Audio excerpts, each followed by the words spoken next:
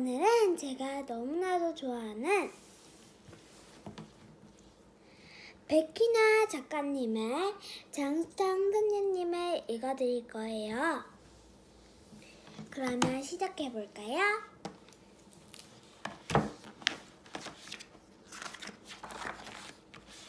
우리 동네에는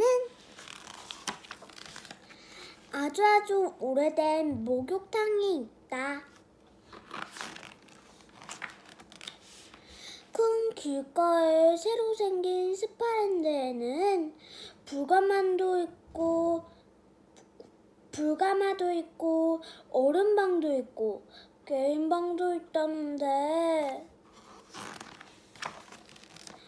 엄마는 오늘도 장수탕이다. 그래도 한 가지 울지 않고 때리면 엄마가 요구르트 하나를 사주실 거다. 여러분 여기에 너무 웃긴 그림이 있어요. 빨개 모습 모습.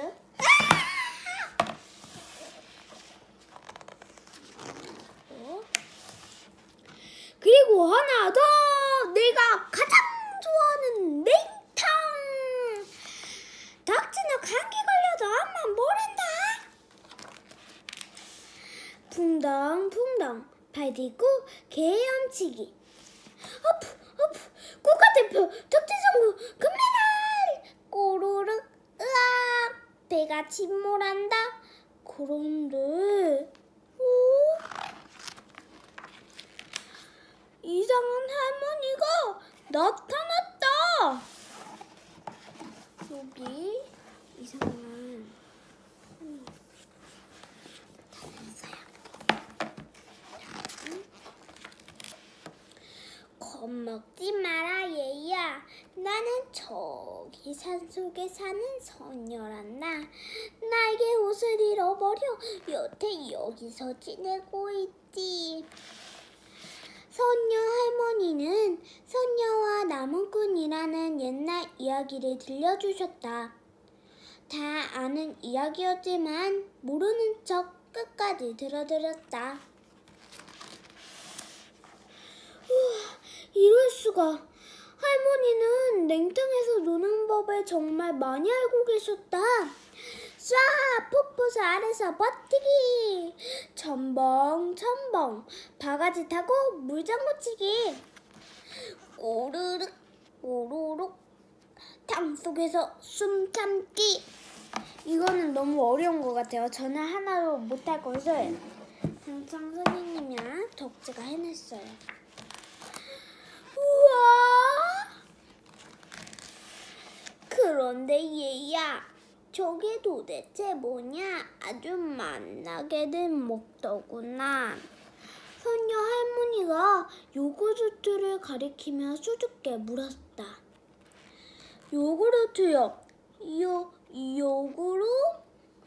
음, 잠깐만요. 나는 뜨거운 탕에 들어가 때를 불렸다.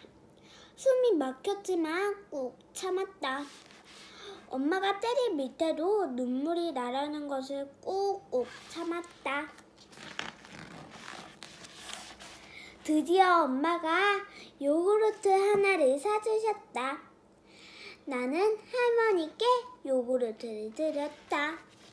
할머니가 요구르트를 먹는 모습이에요.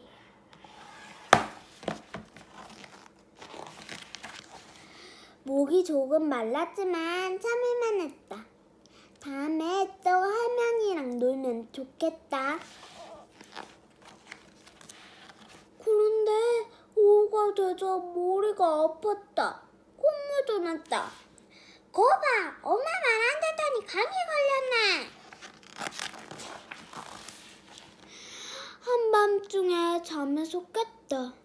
머리가 지끈지끈, 목구멍이 따끔따끔, 온몸이 후끈후끈, 너무 아파.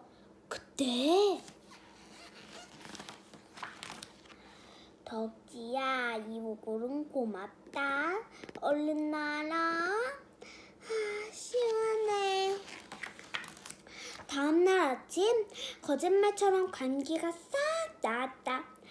고마워요, 선녀 할머니.